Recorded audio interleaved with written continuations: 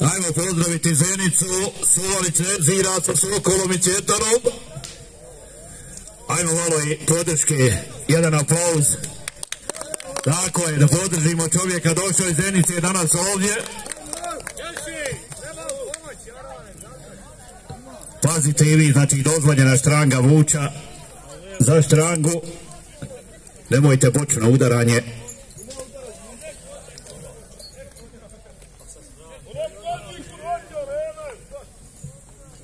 Idemo dole na kačenje, još jednom pozdravljamo Zenicu.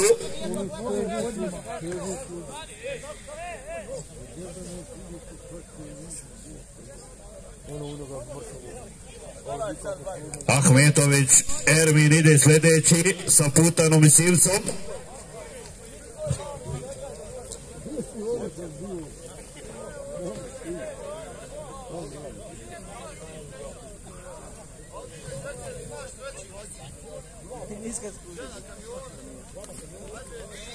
On, on ne može se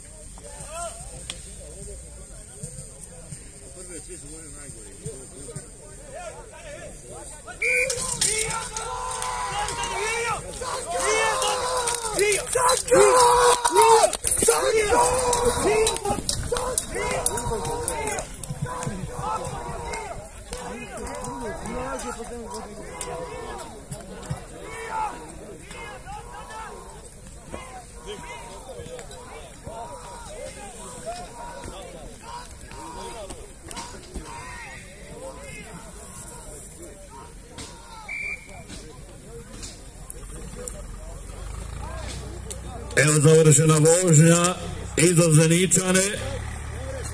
Vidjet ćemo koji rezultat, koje vrijeme su napravili.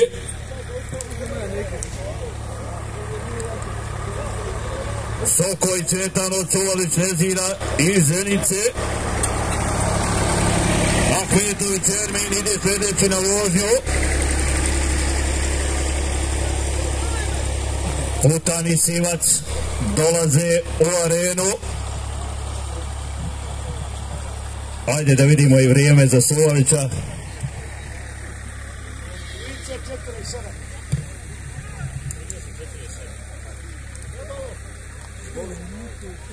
Bolje od prvu. 30-47 vrijeme za Suvalića.